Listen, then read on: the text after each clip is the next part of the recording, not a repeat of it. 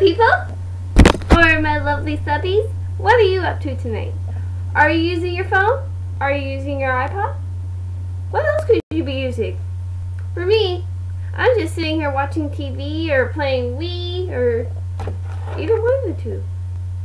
Basically, I thought about today, why are we so dependent on our phones like this or iPods or iHomes? Don't ask why I pulled up my iHome.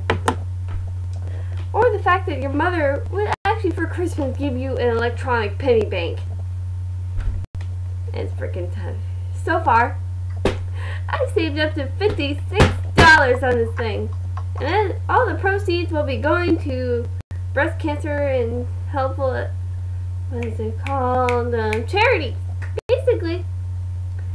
Anyway, why do you think we're all getting honked at when we cross the street? When we run across with our phones in our ears?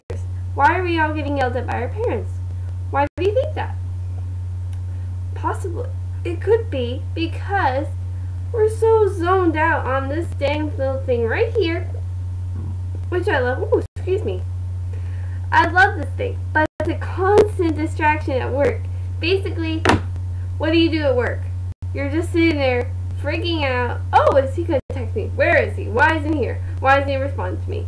Who's on Facebook? Who's on ooVoo? Who's here? Who's there? Pretty much I figured out the technology rules our life. Everywhere you go, there's like a TV, there's like a coffee maker, there's like a coffee maker, there's like a toaster, there's like lights in everywhere.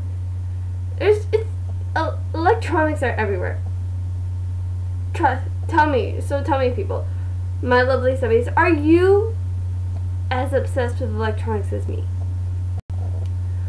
Honestly, when my parents take away my phone and or my computer, I can't live without it. I completely die. So, but they don't do that anymore since I pay them bills. Yay! Basically, what are your opinions? Like, what do you think? How can you live without your phone? Can you live without it? What do you think? What are your opinions on this? what do you do to survive without your phone if it gets taken? Or if you lose your iPod? For me, these two little things right here are the best things in my life, other than my boyfriend and my best friend Mo. Shout out if you're watching. Hello. What do you think? Remember to comment and subscribe. Write your comments down below, your opinions everywhere, as long as you remember to comment and subscribe. And remember, always, Star loves you.